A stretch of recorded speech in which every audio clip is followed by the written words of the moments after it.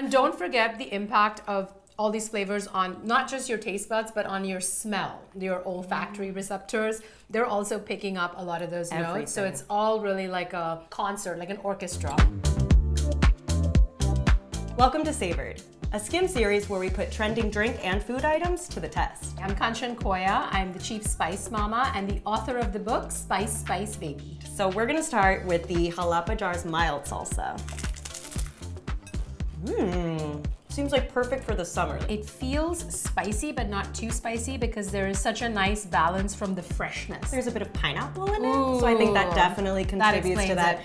Sweet, summery feeling. There's definitely a kick, but it's, you know, it doesn't linger. It's like Yeah. an aggressive high five instead of a kick. I love that. Aggressive high five. So other than chips, you know, what would you recommend pairing the salsa with? So I'm thinking a breakfast burrito with eggs, cheese on your favorite tortilla, maybe some spinach stirred in for that green action, and then dip it in the salsa. Now we're gonna try Trader Joe's take on their Zhoug sauce. I have had so many people tell me I need to try this. I've also heard because it's cilantro based, it's mm-hmm. sort of like a Middle Eastern pesto or even more so a mm. chimichurri. So excited, it looks so fresh and green. I might want to eat it straight up. I know, just with this beautiful little spoon. Mm. It's really reminiscent of herbs in oil with chili and garlic. I think this also has cumin and cardamom, which are giving this sort of depth of flavor. So it's like really fresh and mm-hmm. vibrant and zingy. And what sort of things would you really pair this with? I actually love this kind of condiment with something like salmon. Really? Which is like a firm,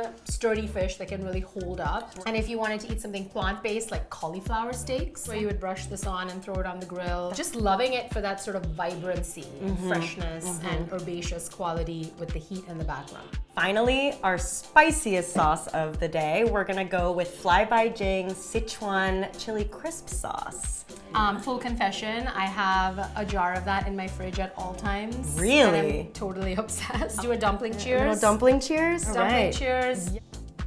Mmm. So I have actually been to the Sichuan province in China where this peppercorn is from. And sometimes people think they're having an allergic reaction when they eat the Sichuan peppercorn because it makes your lips kind of numb and tingly.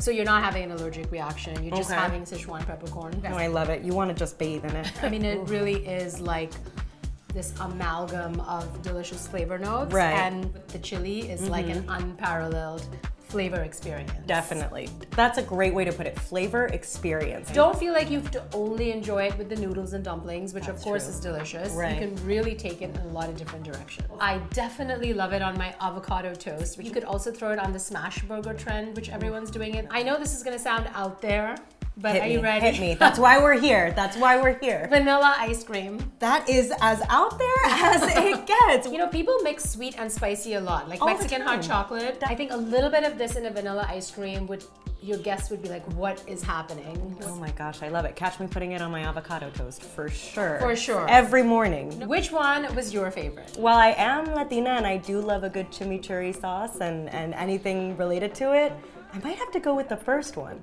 Whichever you choose, make sure to take it one dip at a time. Hungry for more? Check out our editor picks at theskimm.com slash savored. Yeah, no, these are definitely coming home with me. yeah. Here you go. Just thank you. Just don't tell anybody.